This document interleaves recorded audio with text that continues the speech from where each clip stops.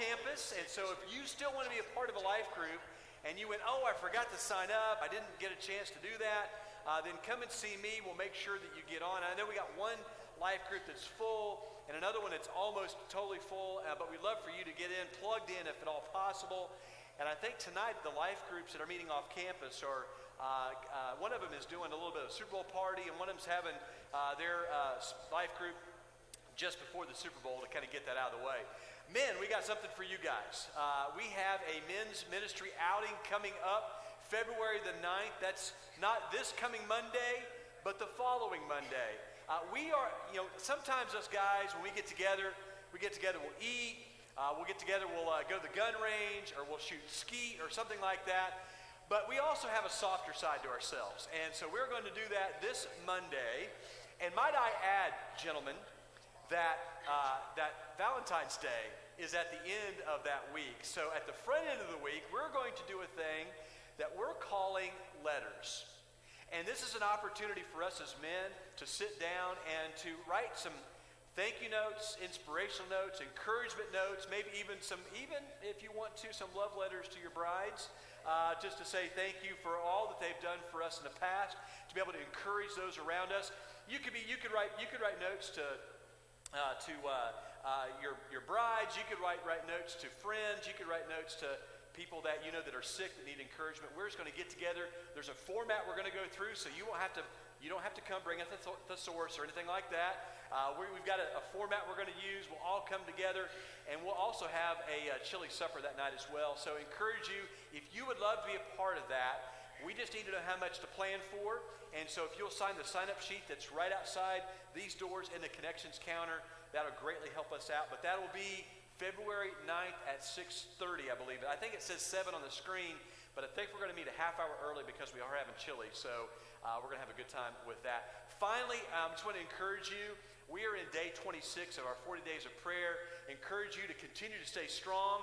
We're on the home stretch. We got 14 days left. Not that we'll stop praying after that, uh, but yet nonetheless, we want to encourage you uh, to continue to, uh, to pray strong uh, as, we, uh, as we finish out these 40 days of prayer coming up in a couple weeks. Well, listen, it's great to see you here. It's great to be here. We have a great day of worship planned. And I'm just going to simply bow before the Lord and let's just pray. Let's thank Him for what He's done for us today. Father God, we give you praise. We give you glory. We give you honor. Lord, we are in awe of you. And Lord, we revere who you are, the very person of you, Lord God. The fact that you, you are so powerful and so awesome and so mighty, and yet also, too, you are full of love and compassion and grace and mercy. How can that be? I don't know. But Lord God, wrapped in that wrapped in that exterior of, of being the King of Kings and Lord of Lords is is a Heavenly Father who loves us and cares for us. And Lord, we just say thank you for who you are. We are here today to honor you, to honor your person, to honor what you've done for us. And so, Father God, we pray that that would happen as we pray to you, as we sing to you, uh, as we gather around communion and, and think about what you've done for us. And as we hear your, hear your sermon today, Father, we pray uh, that you would be lifted up and that you would be glorified. It's in your powerful name we pray all these things. Amen. Well, listen, while you guys are here, I want you guys to stand up and let's greet each other as a church, let people know how great it is to see them here today.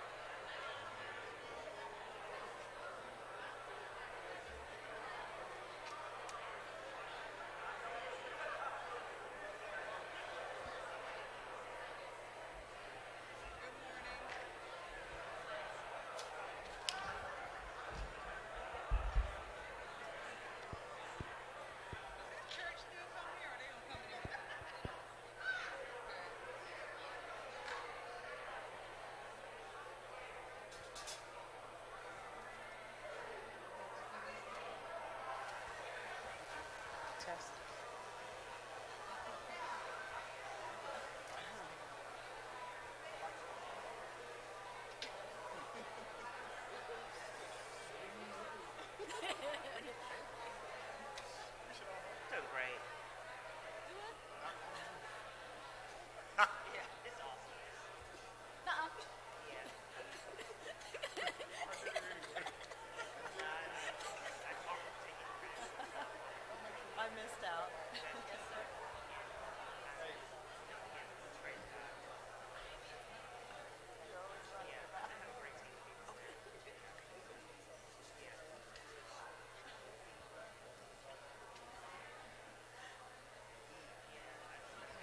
Good morning, everybody. Good morning.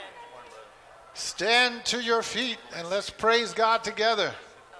And let's ask Him to open the eyes of our heart so that we may see Him high and lifted up. Amen. See Him as He is. And we can worship Him even the more. Sing, Open the eyes of my heart, Lord. Open the eyes of my heart. I want to see you. I want to see you.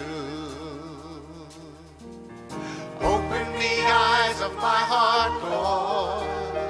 Open the eyes of my heart. I want to see you.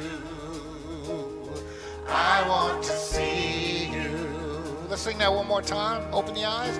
Open the eyes of my heart, Lord.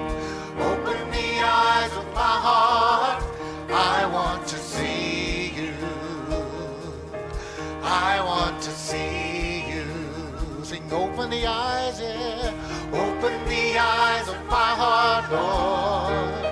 Open the eyes of my heart. I want to see you. I want to see you. See you high. See you high and lifted up. Shining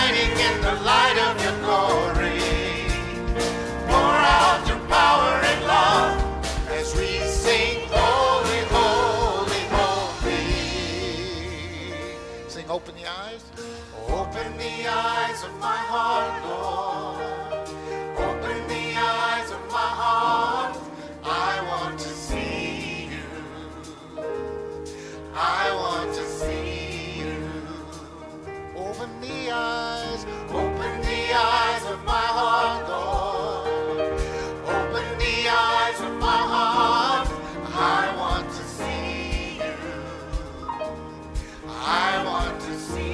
Lift him up. See you high.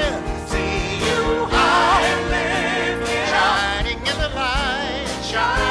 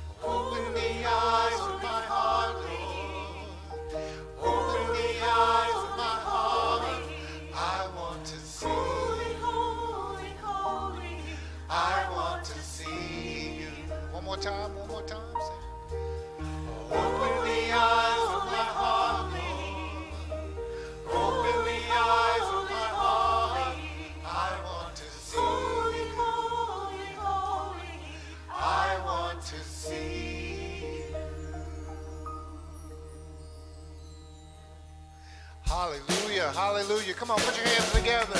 Come on, sing. Everybody come on and lift him up, yeah. Everybody come on and lift him up, yeah. Everybody come on and lift him up, yeah. Everybody come on and lift him up, yeah. Everybody come on and lift him up, yeah. Everybody come on and lift him up, yeah. Lift him up, Lift him up, lift him up, lift him up, lift him up, lift him up, lift him up. lift him up. Lord, I live. Lord, I lift your name on high.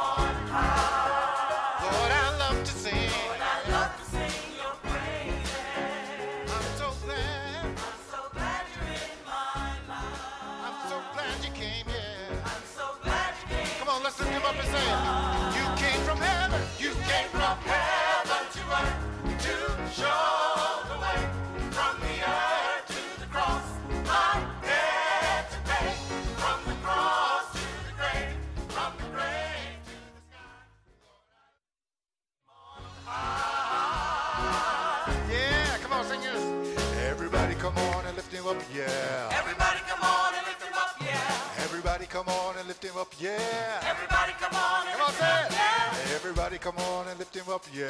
Everybody come on and lift him up, yeah. Lift him up, Lift him up, lift him up, lift him up, lift him up, lift him up. lift him up. Come on, all the fellas say, Lord, I lift your name on high. Yeah, yeah, yeah. Come on, guys.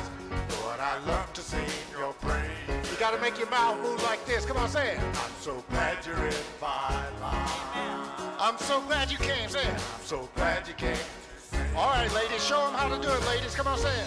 Lord,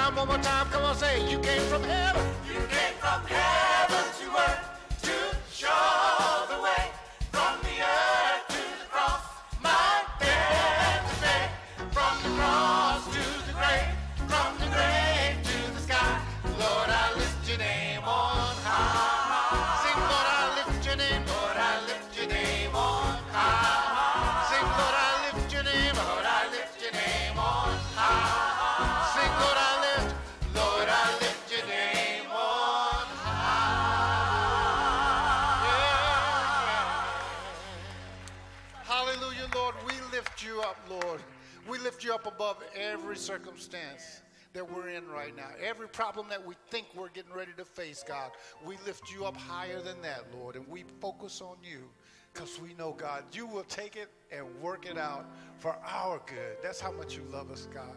And we thank you in advance for that. And we just want to stop and think about just what you've done for us as we sing. I'm forgiven because you were forsaken. I'm accepted you were condemned. I'm alive and well, your spirit is within me because you died and you rose again. Come on, let's sing that one more time. Sing it. Sing, it. sing it to him. I'm forgiven because you were.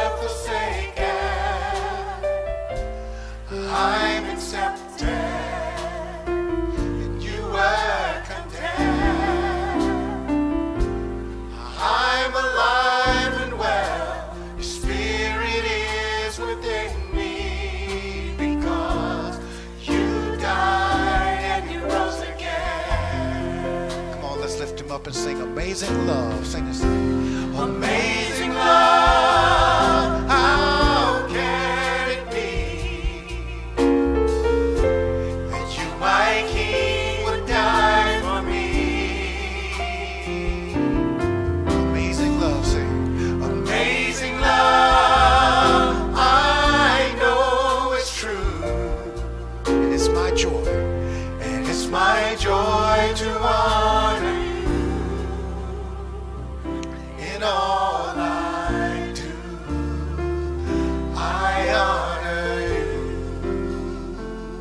Sing, I'm forgiven again. Sing that. Yes, I'm forgiven because you were forgiven.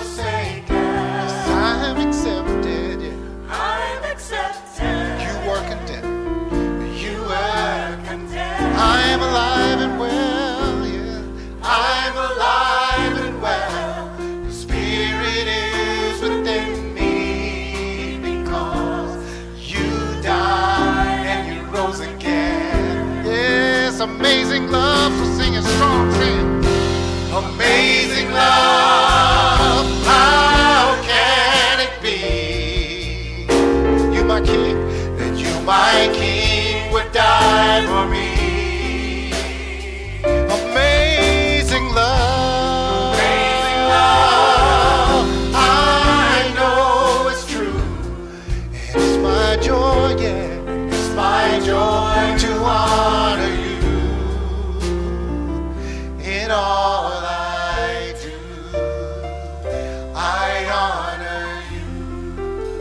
sing this to him and sing, You are my king. You are my king. Sing you. You are my king. Jesus, you. Jesus, you.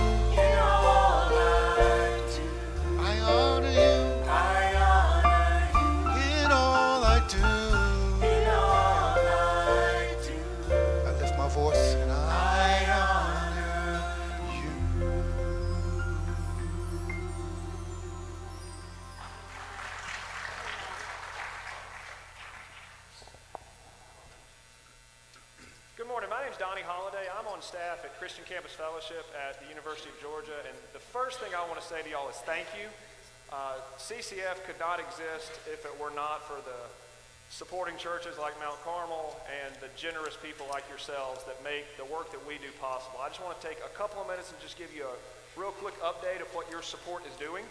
Uh, rest assured, it is changing lives on a daily basis. Uh, things at CCF are going really well. Last school year, our Thursday night worship gathering uh, averaged about 85 students. Last fall, the, the fall semester, we had more Thursday nights with over 100 students than nights we had less than 100 students. So things are going really, uh, really well. We had two great retreats last semester. We're gearing up for our winter retreat this upcoming uh, weekend. We'll be up in the North Carolina mountains. Uh, we've got about 54 students uh, signed up for that, so we're really excited uh, about that. Things are going really, really well. Just real quick, I want to tell you about our freshman class because I'm really excited about them. At, at Campus Ministries, when it comes to freshmen, you see some freshmen once or twice, you see some every now and then. But we have this group of about 10 to 12 that they've decided CCF's going to be their home. And that's what we want. And, and they've really um, just embraced CCF. They've decided it's going to be their home away from home during their time at Georgia. I was meeting with one of our freshman men a couple weeks ago, and I asked him, I said, Well, you're a semester in. What do you think? He said, Well, I think I'll be here for four years.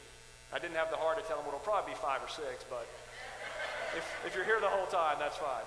Uh, two of our freshman girls have already decided that they're going to live in the campus house next year. We have uh, rooms upstairs where, where 10 of our female students can live, and we already have two freshman girls who decided they're going to live in the house, so that speaks well. So things are going really, really well. God's taking good care of CCF for a number of years. Our past speaks to that. Our present speaks to Him continuing to bless us. And with these awesome freshmen, uh, our future is really bright.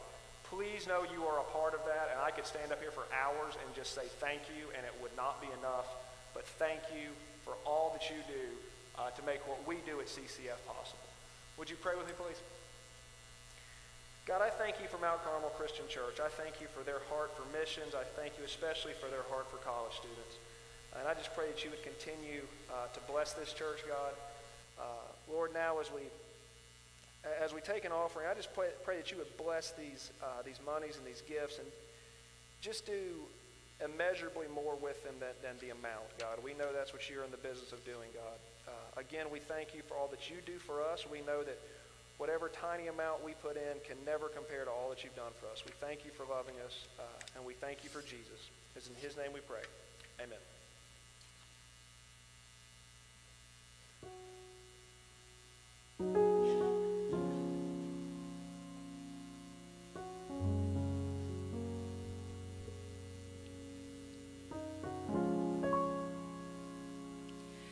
I serve the risen Savior. He's in the world today. I know that He is living. Whatever men may say, I see his hand of mercy. I hear his voice so clear. And just the time I need him, he is always near. He lives. He lives.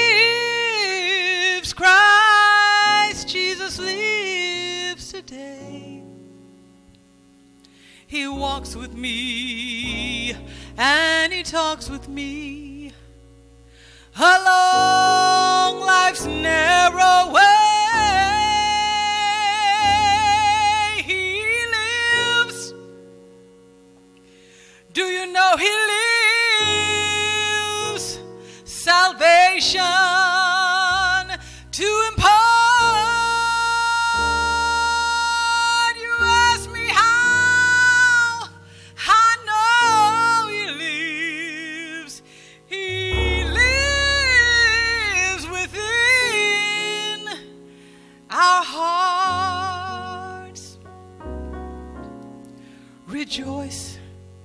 Rejoice, O Christians. Lift up your voice and sing. Eternal hallelujahs to Jesus Christ the King, the hope of all who seek Him, the help of all who find. None other is so loving,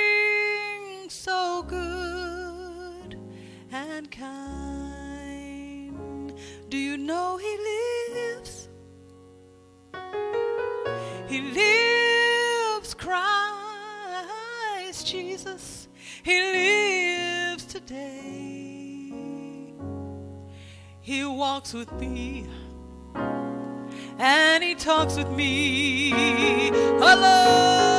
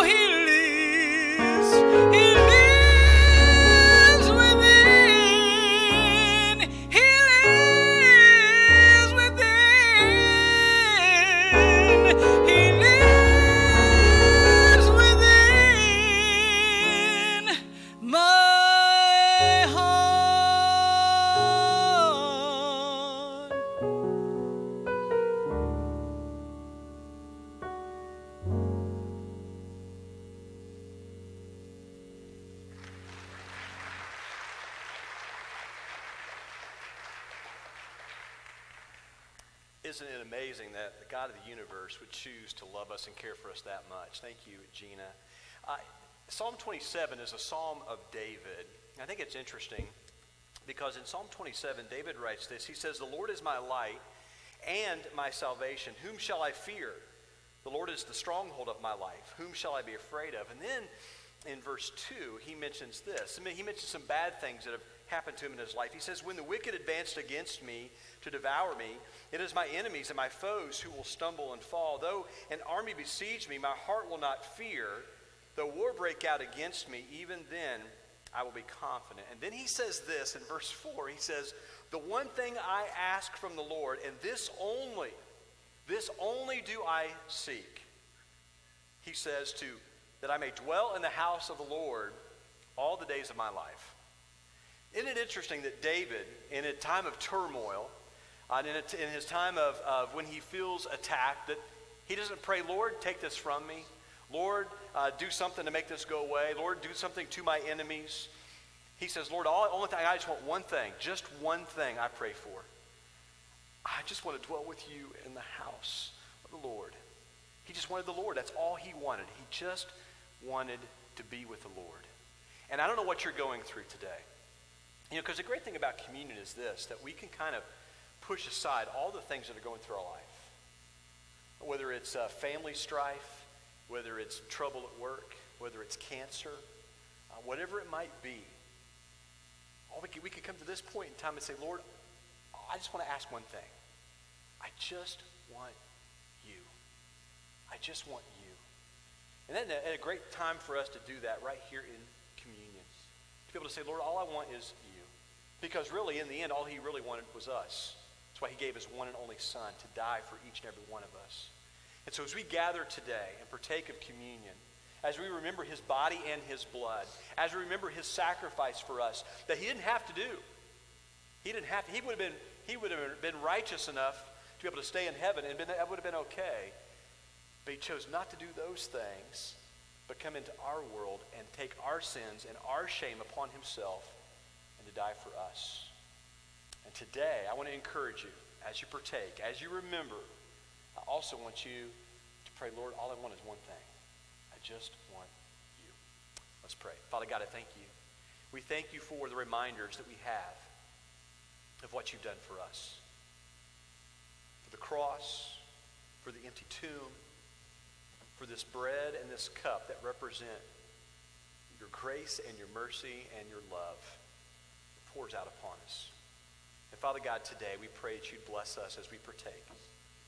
That not only do we remember in this moment, but also, too, Father God, that we just seek you and you only. It's in Jesus' name we pray.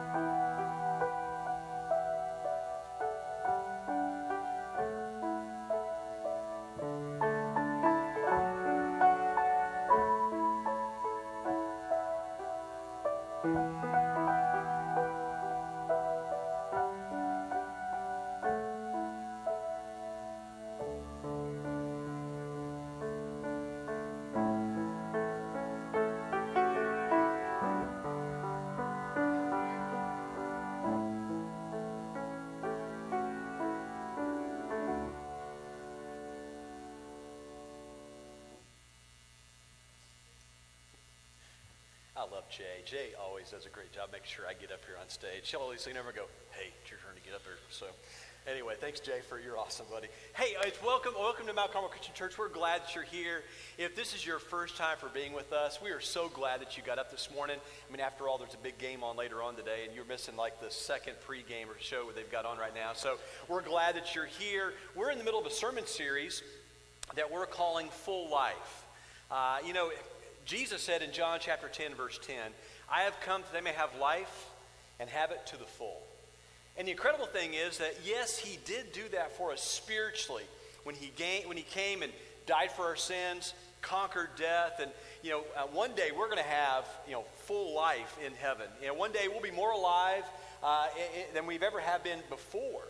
Uh, and uh, we're going to, you know, we're going to enjoy perfect peace, perfect joy, perfect love that we've never really experienced here in this world. And so, yes, he has given us uh, a full spiritual life because of his death, burial, and resurrection. But we also want you to know that while we are in this life, while we are going through this spiritual conflict here on this earth, we can still have full life in Jesus. We can still have full life in him. Yeah, it may not be, it may not be heaven, but this isn't heaven. This is earth, and we, this is kind of a, a battleground for us. And so many times we need to make, we need to understand that yes, we will have ups and downs, but through those downs and even in the ups, God can give us full life uh, in Him. And so that's what we're talking about. And so, hence, you may see the trees up on stage. Donnie leaned over to me and goes, Hey, uh, don't look now, but you got some trees growing on your stage. And I said, Yeah. And so, but just like the trees on stage, we want to make sure that you're like the center tree uh, that it looks full and lives full, it lives a full life, even amidst. Uh, the, uh, the, the world that we live in here in, in this world. And we're using, of all things, uh, 2 Peter chapter 1 as a springboard uh, for this sermon series called Full Life because in 2 Peter, he gives us seven virtues, seven qualities that we need to add to our faith. Now, notice we didn't say that these virtues help us in our salvation. That's a free gift from the Lord. But once we have faith in Christ, we need to continue to add to it so that we are stronger in the faith as we go on, that we walk closer with the Lord. And so he says this, uh, the Apostle Peter does, in 2 Peter chapter 1, verses 5 through 8. He says, For this reason, make every effort to add to your faith goodness, and to goodness knowledge, and to knowledge self control, and to self control perseverance, and to perseverance godliness, and to godliness mutual affection, and to mutual affection love. And then he says this in verse 8 For if you possess these qualities in increasing measure, and that's important because this means that we don't just one time add these qualities to our life, but we continue to add these qualities ongoingly into our lives. He says, if you possess these qualities in increasing measure, they will keep you from being ineffective and unproductive in your knowledge of our Lord Jesus Christ.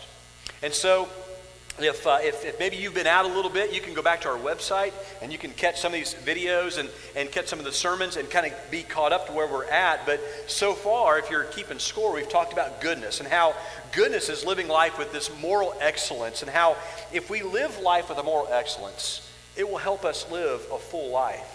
I mean, maybe you probably know family members, uh, uh, co workers who, have, who haven't lived with a moral excellence. And in some way, shape, or form, uh, their, their life isn't full because of that. We've also talked about knowledge, and we're not talking about trivia here. We're talking about the knowledge of knowing God and being known by Him, having a relationship with the Lord, and how this can help us have full life. We also unpacked this idea of what it means to, to live with self control. And we talked about adding to our spiritual disciplines uh, things like reading the Bible, prayer, fasting, solitude, things, things that we can add to, our, to ourselves that we can develop more and more this idea of self control, uh, especially in times of, of trial. And then last week, Carlos did a great job, by the way. Carlos, where you at? Nice job, my friend. Uh, I called, when I was in the hospital, I called Carlos. He was the first phone call I made. Uh, Carlos, I'm not going to be there Sunday, man. Can you preach? And he's like, Yeah, sure, I can do it. And he said, and he, I said, You can preach about anything you want, man, because uh, I really don't give a rip. I'm just, I'm, I'm hurt, you know. And so he's like, He goes, That's okay. He goes, I would like to try perseverance if at all possible. I said, Go for it. Did a great job, my friend. Uh, but Carlos unpacked for us what it means to have this perseverance, this, uh, this, this, this stick to itiveness in our faith that we don't give up, we don't, uh, we don't uh, fall by the wayside, but we stay close with the Lord. And so that's where we've been. And before we go to where, where we're, we're going to be today and hang out most of the time, uh, I just wanted to share this with you. Now, I, most of you may know, some of you may not, uh, we are currently in a 40 days of prayer. Uh, going through the 40 days of prayer. And um, although we need to be praying all the time as believers, we need to always uh, be, be praying. You know, pray without ceasing, Paul says. But we especially thought it would be great for the first of the year for us to devote, the, you know, the, as, as best as we could, the first 40 days uh, to the Lord in prayer and just really uh, uh, focus all of our prayers together in that. And I, and I want to thank you uh, for your participation in that. Thank you for continuing to do that. If you go, oh, I didn't even know we were in this, then that's okay. Just start right now and go. We've got this is day 26. We've got 14 days left.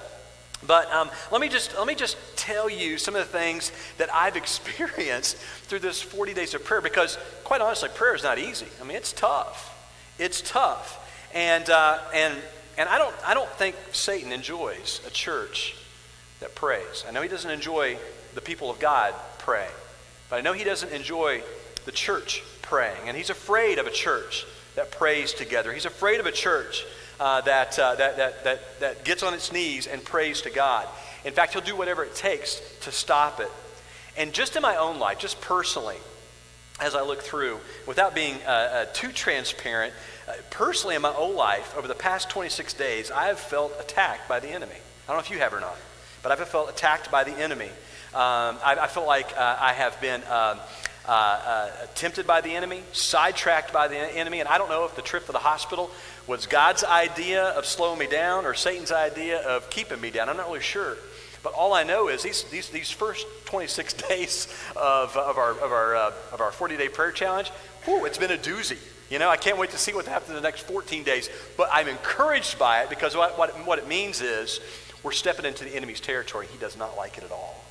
He does not like it at all. Here's what I want to make sure that you guys know. I want to make sure that we encourage you to continue on. We're going to try this video if it works. The, the, the computer's crashed a couple times. This video encouraged me. I sent it to a couple guys that I knew to encourage them, and I wanted, to, wanted, to, wanted it to encourage you as well. Check this out. The Christian life is not a playground, it's a battleground. So today, I will give no place to fear or failure. I will not accept a trace of apathy in my attitude or actions. I will reject complacency and embrace the greatness that God has planted inside of me. I will waste no opportunity to glorify God and maximize everything He has entrusted to me. I will fight. My battle is not against flesh and blood, but against a spiritual enemy who opposes me. So I will draw the battle lines and face my enemy with a bold determination. My enemy fights against me because he fears me. Every time I resist him, he must flee. And every time he reminds me of my past, I will remind him of his future. I will make no excuses, but through every obstacle, I will find a way.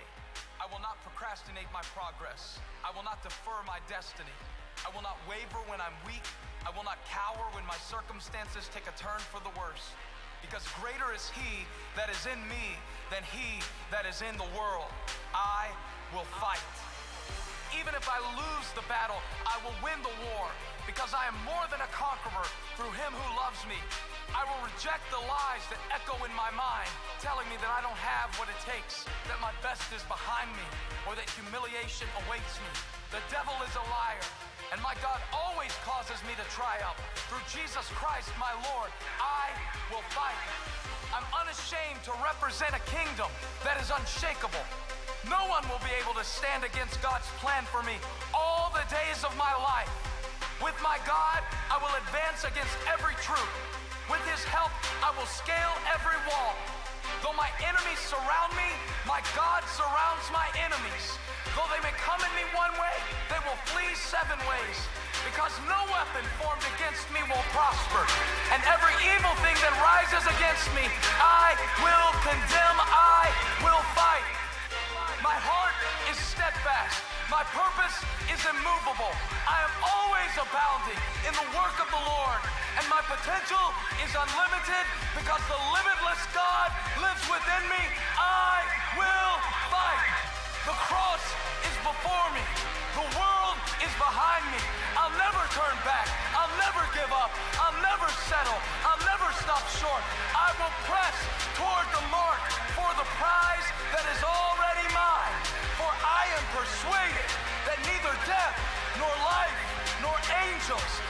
Principalities, nor powers, nor things present, nor things to come, neither height, nor depth, nor anything else in all creation shall be able to separate me from my God. And if my God is for me, who can be against me? I will fight. Fight.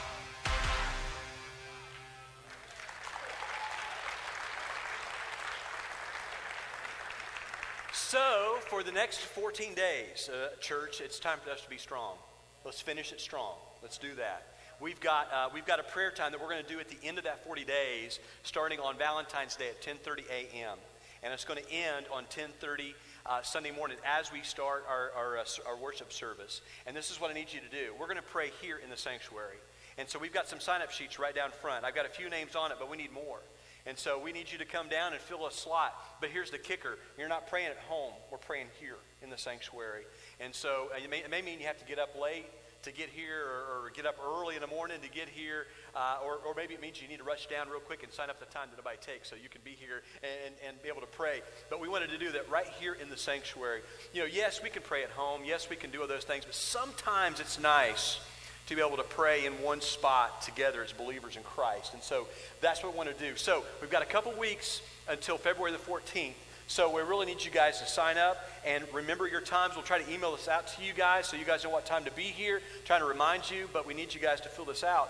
To, and so after service, you guys can come down, make sure you guys fill it out. But we want to finish strong in this because uh, we know that what, what we're doing, praying, is extremely important. That's where the, that's where the battle is. That's where the battle is, is, is in prayer. And so we want to make sure that you do that. So uh, prepare yourselves for that. If you have wronged anybody, then go to them and say, hey, I'm so sorry. If they have wronged you, then even before they get to you, already forgive them.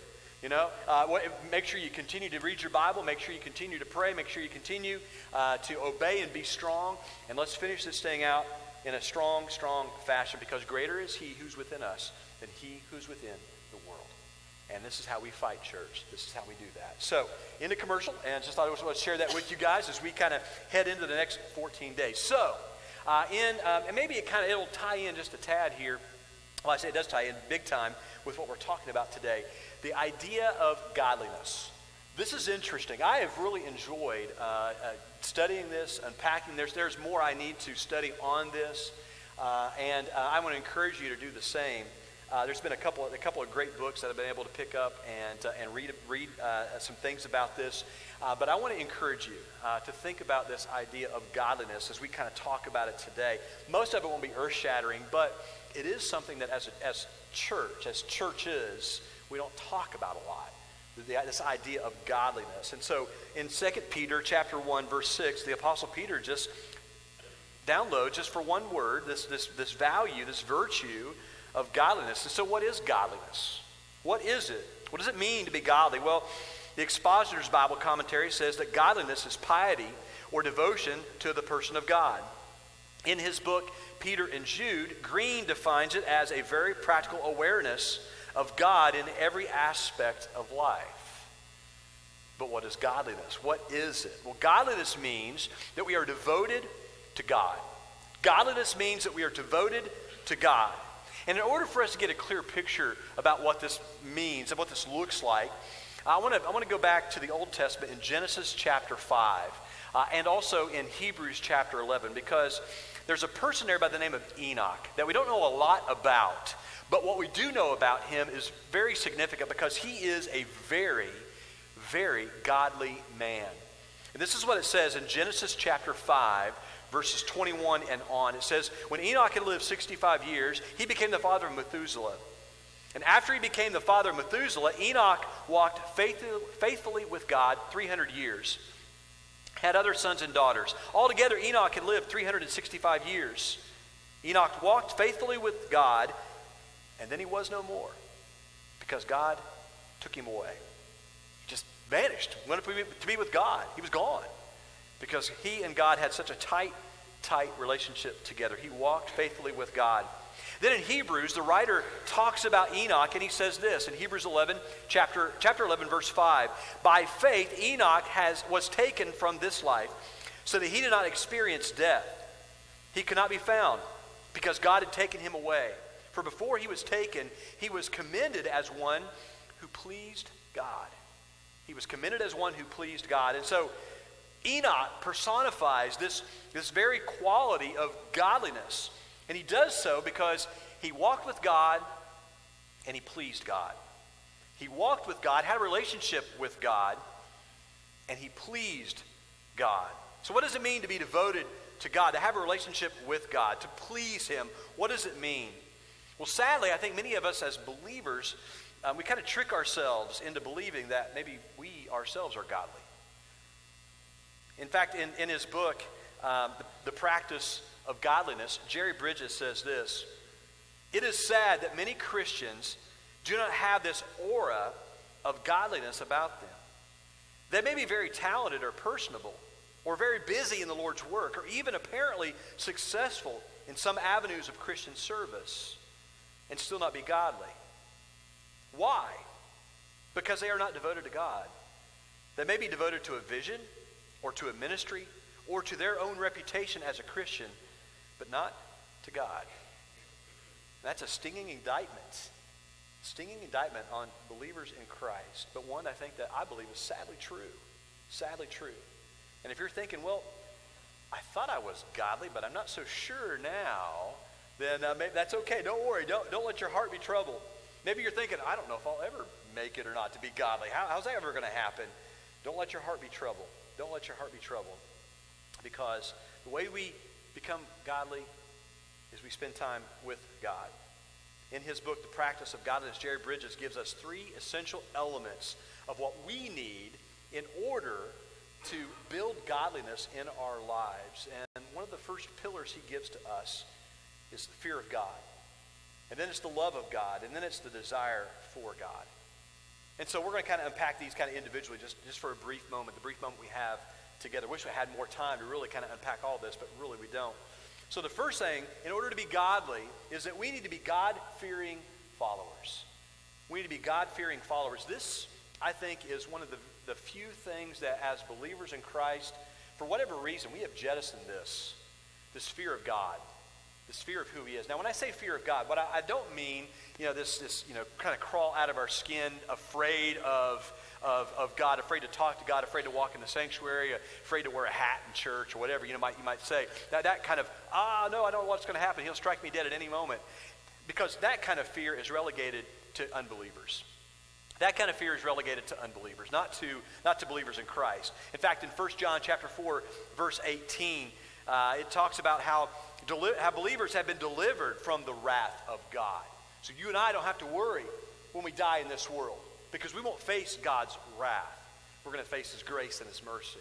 We won't face His wrath. We don't have to be afraid of that. And we see in numerous times as Jesus encounters his own followers, his own believers, that he tells them over and over and over again, don't be afraid. Don't be afraid. It's me. Remember when Jesus was out walking on the water? Everybody's afraid, thought he was a ghost, and he says, don't be afraid. It's I. And so we know that, that the kind of fear that we're talking about isn't this overwhelming you know, fear that something bad's going to happen to us because God's out there, He's God's watching us, and that sort of thing. But the fear that we're talking about, the kind of fear that we're, we're talking about here is the, is the honor and the reverence and the awe of the person of God. Have you ever just sat back and just thought about who God is and how yeah, he could crush us like a bug, but he chooses to love us and care for us. How big God is, how he holds the universe in his hands, and yet he cares for us and knows the number of hairs that are on our head. Just to think about his person is interesting and how when we do that, it, he does require our honor and reverence and awe. Theologian John Murray said this in his book, Principles of Conduct. He says, It is impossible to be devoted to God if one's heart is not filled with the fear God. It's impossible to be devoted to God if one's heart is not filled with fear of God. Isaiah got a chance to see this fear uh, face to face as he, uh, in Isaiah chapter 6, he goes to heaven and he sees these angels with six wings. Isn't that incredible? We don't go to the store and ever get those little figurines. Don't really see them with six wings, you know. But he saw these angels with six wings. And Isaiah says, with two wings they're flying. But with two wings, they're covering their faces. And with the other two, they're covering their feet.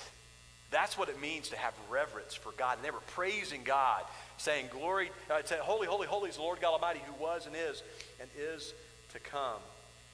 And so Isaiah got a chance to see what it looked like to really fear God through these angels. You may have heard me say this many times, but um, the only thing I can, I can, only way I can use to equate this is with my own dad. Uh, I had a great dad growing up. I, did. He, uh, he hung out with me and my sister all the time. My dad would, um, I had these little, these little plastic army men. I mean, we, I'd sit for hours and set them up, and he'd come in and, and, and, and, and just hang out with me. We'd set up army men and things like that, and you know, we played kickball and ride bikes together. It was, I mean, he's a great dad. He is. He's a great, awesome dad. But then there was times that I wasn't so awesome and I wasn't so good, and my dad would have to have to lay down the law and drop the hammer. And uh, and and there were times that. Uh, that my backside uh, didn't feel so good because of what, uh, what I did. And, and, you know, mom would have to say, wait till your dad gets home. I hated those words. As much as I loved my dad, I also feared him in some way, shape, or form. Not, not as a scare fear, uh, but just I just was in awe sometimes of him because he loved me, he cared for me, but yet also too he was my disciplinarian as well. And I, when I think about when I think about this idea of fearing God, I often think about my dad and what I went through. And so it's interesting to me. In fact, uh, Jerry Bridges says there is a healthy tension that exists in the godly person's heart between the reverential awe of God in his glory and the childlike confidence in God as Heavenly Father. And so we need to fear God to be in awe of Him. To fear Him, to be in awe of Him. And I don't think as believers, too many times we're afraid of God that we have that fear about him. And how do we develop that? How do we develop that fear? I think it all goes down to focusing in on his person, on who he is. The fact that he's omnipotent, uh, the fact that he's omniscient, uh, the fact that, uh, uh that he is loving and graceful and merciful, the fact that he is warrior, that he is our King of kings and Lord of lords, and all, all those things just to focus on his person. And maybe we need to do that more often, is to focus on him. We need to be God-fearing followers. We also, we also, in order to build this godliness within us, we need to be captivated by God's love. We need to be captivated by his love. In fact, the fear of God and, his, and, and being captivated by his love go hand in hand. I'll tell you what I mean here in just a second, but the Apostle John says in 1 John chapter 4, verse 8, that God is love. God is love. He's the very definition of love. And then he goes on in that in, in, those next few verses to tell us, to tell us what God has done to show us that he is love, how he came to this earth to die for us, how he took our sins upon himself, and how he rose again three days later, defeating sin and death. And so a godly person never forgets this. A godly person never forgets that at one time we were enemies of God yet still he loves us. A godly person never forgets that salvation is not an entitlement that should be handled down to us, but it's an act of sheer grace that none of us, none of us deserve. Godly person never forgets that they were at one point in time the object of God's wrath, and yet he gave us love. Paul writes in 1 Corinthians chapter 1 verse 18, he says this, "For the message of the cross is foolishness to those who are perishing, but it is but to us who are being saved, it is the power of God." You ever talk to somebody about the Lord and they go, well, I don't understand what you're talking about. They look, they look at you like you got two heads, you know, and three eyes. They can't, they can't figure it out about this whole thing about Jesus. And for some, the message of the cross is foolishness. Maybe at one point in time it was foolishness to you. You're like, ah, Don't who needs Jesus? Whatever. And later on, you realize, oh, I guess I need Jesus. And so I think sometimes we forget what God has done for us. And the people of God knew, especially Paul. Out of everybody, Paul knew. He knew. He could look at the cross. He could look at the cross and he could say, God, why, why would you do what you did for me. He knew what it meant to be blind to the reality of the message of Jesus Christ. He knew what, it meant uh, to, uh, to be a sinner in God's eyes. He knew what it meant to be an enemy of God. And yet he understood, I think as best as he could, the depth of God's love. How God snatched him out of that life and gave him full life. And say, see, here's the kicker. Here's the kicker. The more we fear the Lord, the more we fear him, the more we appreciate his love. The more we appreciate his love. For Paul, he knew that God didn't have to step in and change his life. But he did. It was a total act of grace, unmerited favor given to Paul.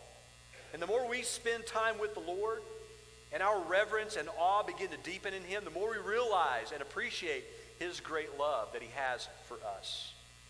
I mean, he didn't have to take it upon himself, my sins and your sins. He didn't have to do that. He didn't have to take my shame and your shame. He could have stayed on his throne in heaven and he would have been righteous for it because of what we have done. Not because what, of, what he had done, but because, well, because of what we have done. He would have been righteous to stay in heaven, but chose not to do that. He chose to give us life by dying for us.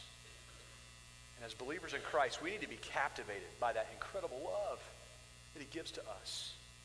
And the more we fear him, the more we're in awe of him, the more we understand his person, then the more we can understand his incredible love that he has for each and every one of us.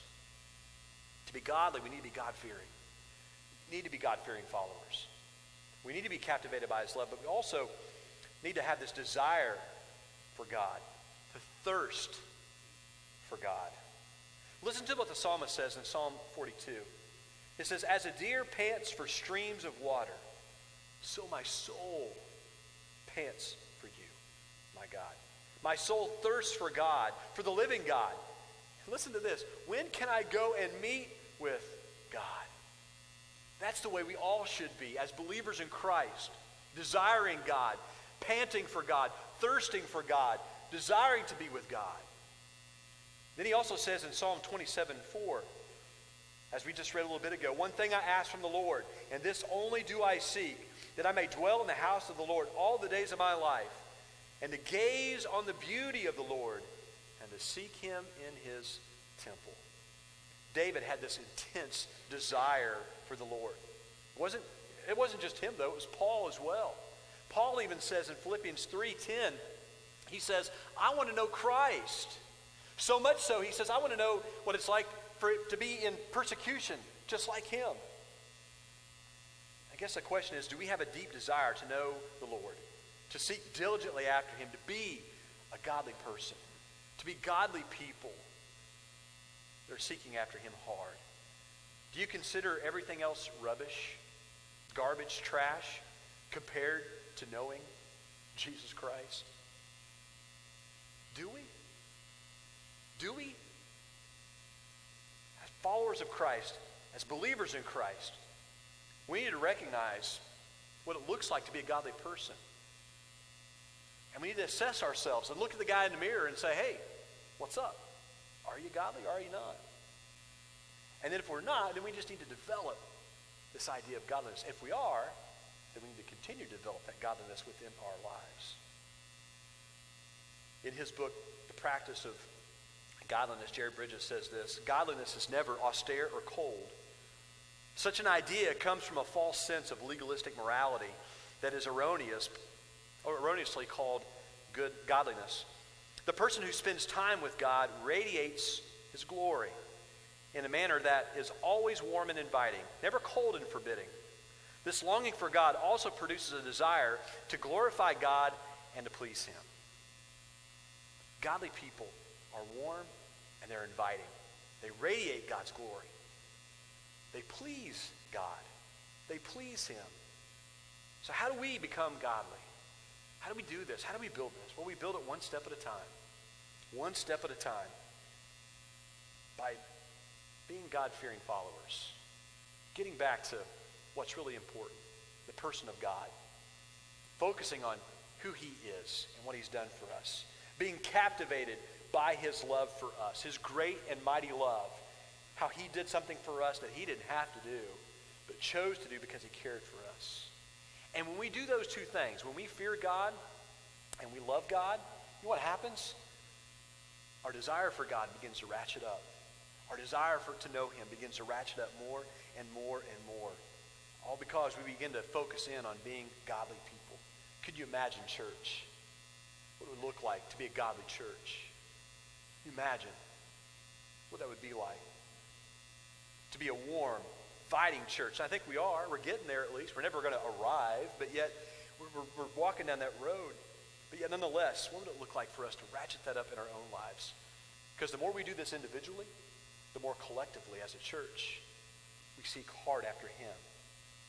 The more we desire Him, the more He begins to bless us. Walk with God. Walk with God, church, please Him. Let's pray. Father God, we thank you. We thank you because that you're faithful even when we're unfaithful. I don't know how that works, Father. I don't know how that how you do that, but you do.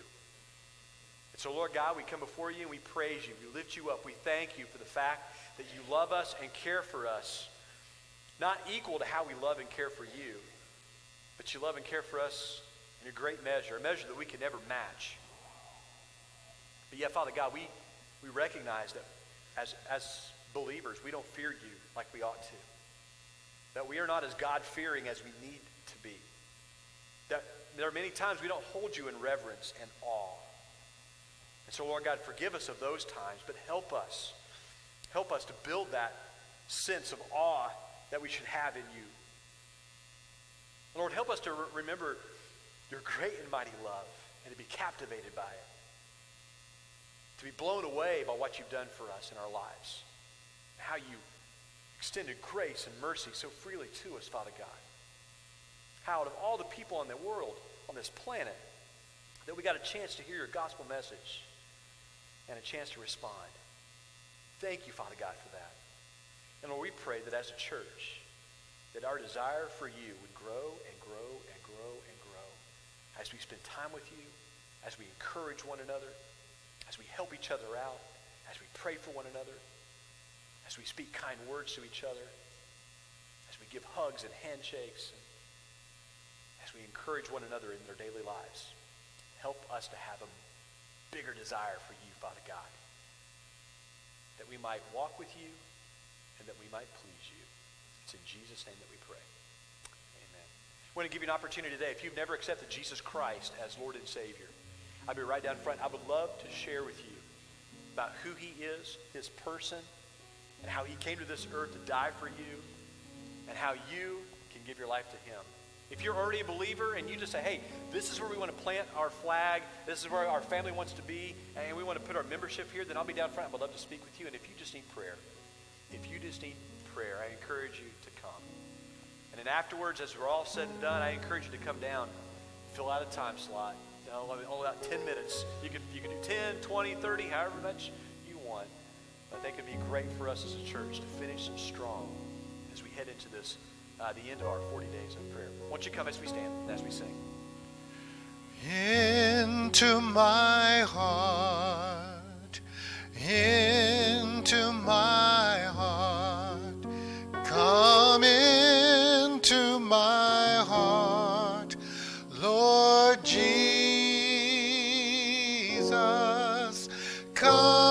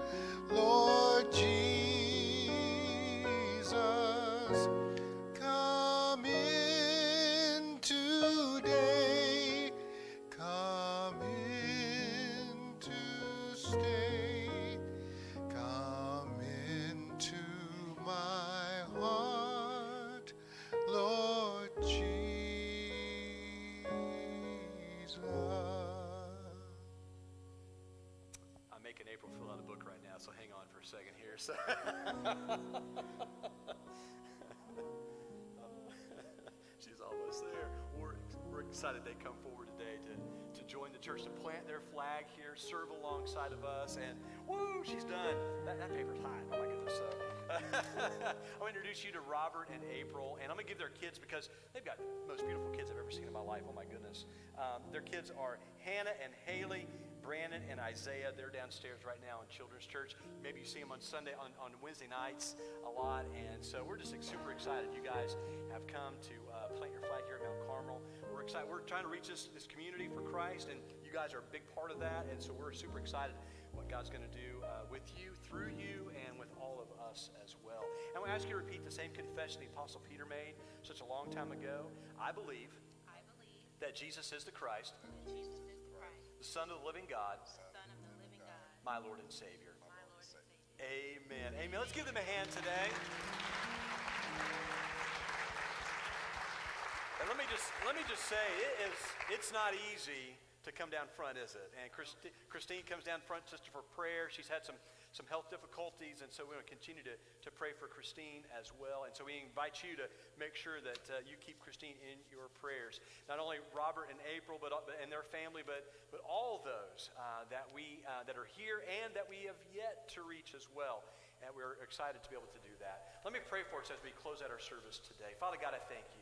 Lord, thank you so much for wonderful servants of Christ that come to, that you've drawn in, Father God. You've drawn here. And Father, we pray for April and Robert that you would bless them. Lord, that you would bless their children, that you bless their business. Lord, that uh, they would just simply serve you each and, each, each and every day, in and out, Lord God. And Father, we pray that in the next days and weeks to come, that they lean upon us for strength and that we, we lean upon them for strength, Father God, as we together uh, live life for you, live life to its fullest. And Father, for Christine, we lift her up to you, Lord God. Father, we just pray for her and many others that are on our prayer list. That you give them strength, you give them healing, Lord God, and that you would just bless them to serve you in, in, the, in the ups and downs of life. And so, Father God, we thank you for them today. Lord, thank you for your power. Thank you for your love. Thank you for your grace. And bless us now as we go out these doors and we share all of that with those that are around us. It's in Jesus' name we pray. All these things. Amen. Come on, everybody, sing this with us. Sing. Holy, holy, holy. Holy, holy, holy. Holy, holy, holy. I want to see